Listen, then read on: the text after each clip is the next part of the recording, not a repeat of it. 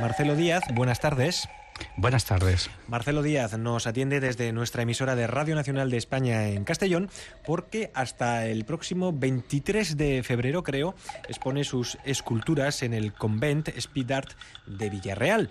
Quien les habla eh, no ha podido ver esta exposición por una cuestión evidente, es decir, eh, por varios cientos de kilómetros de distancia entre ese punto y Madrid, pero les puedo asegurar que, esa exposición la tengo ahora mismo entre mis manos, como quien dice, y además enriquecida con la palabra poética del, propio artista, de Marcelo Díaz. A tiempo 2 es el título del catálogo de esta muestra, y en él, en este catálogo, pueden verse tanto las esculturas de, esa misma exposición como leerse las poesías que, como decimos, Marcelo Díaz ha escrito inspirándose en ellas, porque entendemos, o al menos suponemos, Marcelo Díaz, que la poesía llegó después de la escultura, o, no es así, Marcelo Díaz?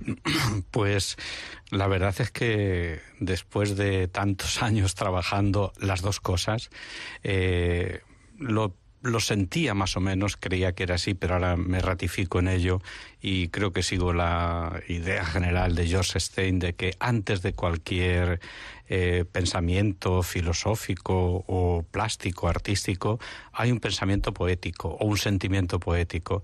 Y ahora estoy convencido de que en el origen eh, eh, es el mismo para las dos cosas y es básicamente poético.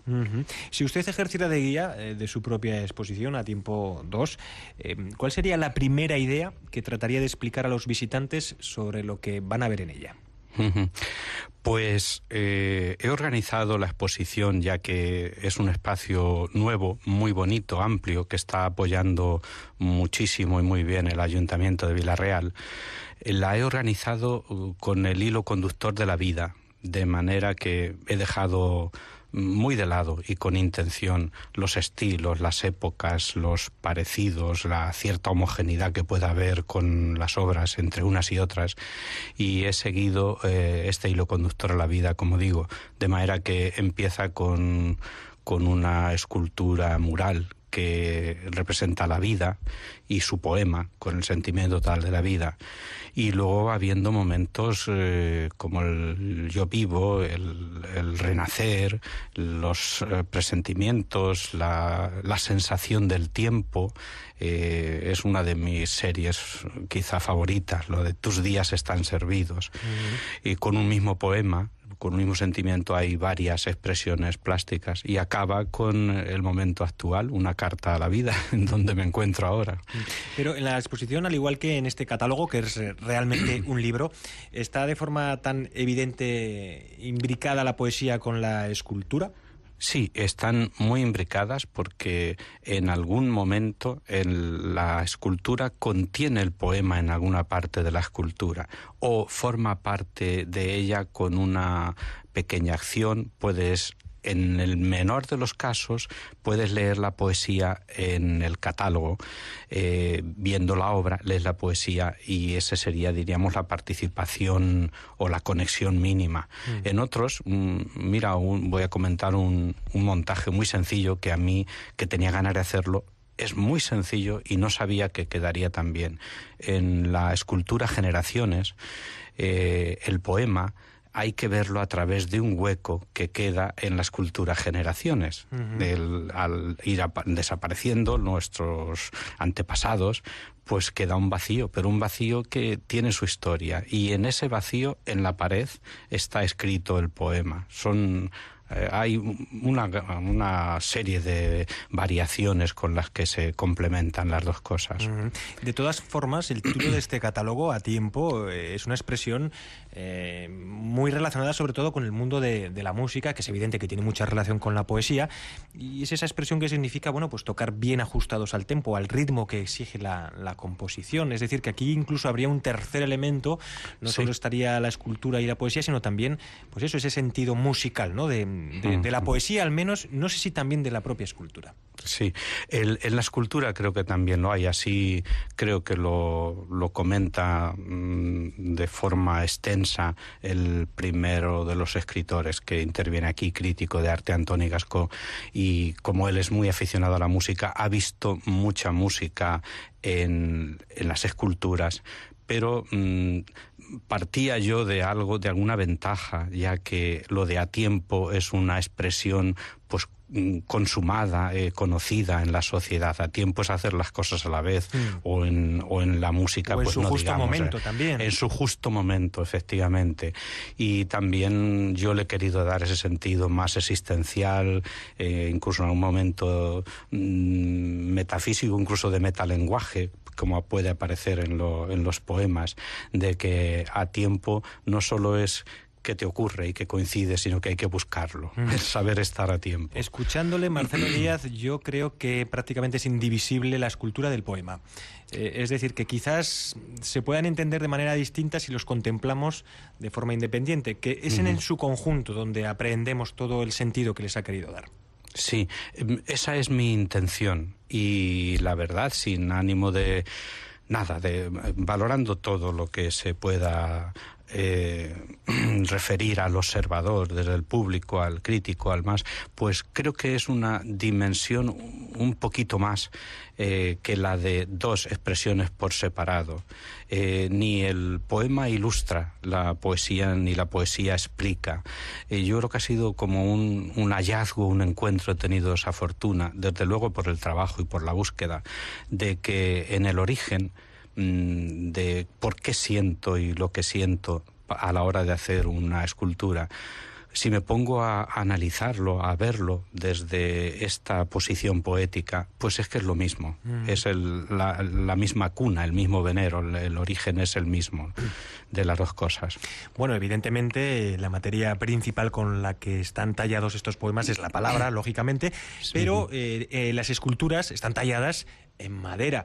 La madera es eh, el elemento principal de todas prácticamente las esculturas de, esta exposición a tiempo 2, eh, que están reflejadas en este catálogo del que estamos hablando. Eh, ¿Cómo llegó a ella? ¿Por qué la madera es prácticamente, bueno, la materia única de, sus esculturas? Pues yo creo que mm, en, las personas hay algo dentro de nosotros que, que siempre sabe más que nosotros. En algunos momentos y en algunos aspectos sabe más que nosotros. Y era, es una intuición desde niño, porque veía mucho a un carpintero y me era un material muy cálido, le, le quería de alguna manera, me dolía cuando la veía quemar y veía, vi algo que luego he podido desarrollar y me he encontrado también, pues me siento afortunado por ello, el haber descubierto los valores lignarios que tiene la madera. No es para mí, no la utilizo solo como forma, como un, material al que le quito y le añado y le pongo, sino es que los nudos, las vetas, el color, la dirección con la que puedo trabajar con estas propiedades lignarias, eh, añaden a lo que sería solo forma una cantidad de elementos expresivos que la fortalecen. eso usted no lo controla. Eh, eh, un nudo, una veta que aparece de repente mientras está trabajando una, un trozo de madera, eh, usted no, no, puede controlarlo. Le sale de repente, le surge y le da un sentido, un significado a esa escultura que ahí cambia su propia, su propia perspectiva. Sí, también lo hay, pero previamente yo creo que conozco ya un poquito el material y, y tengo tengo muchísimo material, ese es uno de, de, los inconvenientes a lo mejor que tiene de trabajar así, que para buscar que este nudo esté en la parte media de una escultura o de un mural o en la parte arriba de la diagonal, tengo que disponer de mucho material. Hay una gran búsqueda. Mm, al azar queda poco, pero siempre, siempre escucho lo que tiene el material y cambio y rectifico y modifico porque eh, es algo imprescindible en el que intenta crear que sepa lo que tiene entre manos, que tiene un mensaje oculto, tiene una cualidad plástica ahí que está esperando y eso. Pero está muy buscado desde el principio. Por ejemplo, el color, el color, la dirección de las vetas, si lo trabajo en línea, a contratesta, si lo hago inclinado, si es con sesgo el corte, todo eso sí que son recursos que yo controlo y que me están no se me acaba el material estoy encontrando cada día muchas posibilidades escuchándole hablar uno diría que además de estar hablando con un artista y con un poeta está hablando con un artesano sobre todo ¿no? sí indudablemente indudablemente la, el sentimiento la idea están ahí como motores como originarios pero no servirían las buenas intenciones si al final no lo resuelves bien mm, También hay que resolverlo plásticamente bien. Mm, también ha investigado Marcelo Díaz con hormigón, hierro, cerámica. Sí. Cada emoción pide un material concreto. Eh, sí, indudablemente. Y en esta exposición hay, eh, hay cosas con material, con vidrio, unas gotas de vidrio azul muy grandes. Hay grés que imita el pan. Hay eh, diversos materiales. Hay latón escrito. Hay espejo que tiene grafiado un poema muy existencial en el que al ver el espejo no sabes si verte a ti mismo que te aumenta o lees el poema. Eh, hay distintos recursos y esa es una, una suerte que ya el arte desde hace muchos años ha conquistado y es que pues no hay es pintura o escultura o no hay esto o aquello. Mm. Todo se puede usar para enriquecer la idea, buscar más. ¿Qué motivo inspira una obra de Marcelo Díaz? ¿Qué, en definitiva, ¿qué le pone manos a la obra? Sí, me pone manos a la obra un, una idea, un sentimiento. Ideas, digo ideas y digo ideas con ideología incluso.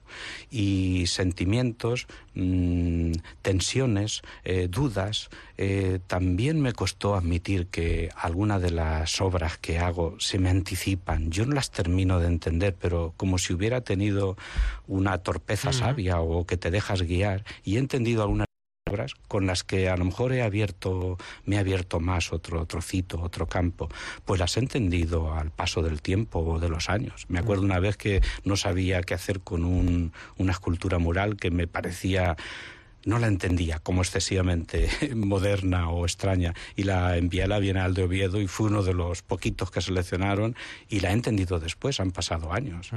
Y eso me parece que es algo muy noble en el, en el artista. Yo creo que me miro mucho dentro creo lo que me creo y, y, no me no hago nada por acomodación o esnovismo porque esté de moda. Mm. Es que el ser humano tiene toda la riqueza dentro. Bueno, desde luego Marcelo Díaz nació en Villasequilla, en Toledo, en uh -huh. 1950. Desde 1978 vive, vive en Castellón, ha participado en numerosas exposiciones colectivas e individuales, pero también es maestro de enseñanza primaria y licenciado en psicología.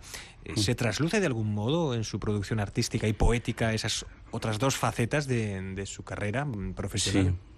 Yo creo que hay la parte didáctica, la de saberlo enseñar, la de que quieres que llegue como una cosa buena, eh, sin narcisismo, sin egolatrismo, sino como una cosa positiva, el arte como una posibilidad de educar la sensibilidad pues sí que está, no me la quito de encima. No solo no me la quito, la, la fomento y, y, creo, creo en ella. Creo que es una parte que no debería descuidar esta sociedad ni deberían descuidar los medios de comunicación. Mm. Bueno, pues tomamos nota y recordamos, Marcelo Díaz, que su exposición... No era una advertencia, Alfredo. No, pero me la tomo como tal, desde luego.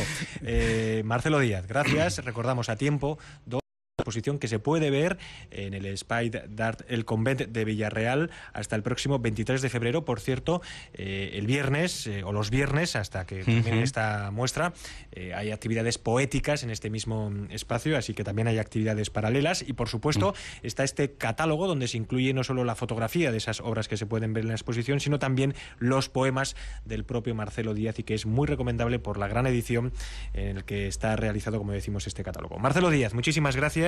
Hasta la próxima. Gracias Muy también bien. a José Manuel Ordaz, eh, compañero de Radio Nacional de España en Castellón, por haber hecho posible esta conexión. Hasta luego. Vale, gracias por apoyar y por acordaros de mí. De nada, hombre. Hasta la próxima. Hasta luego.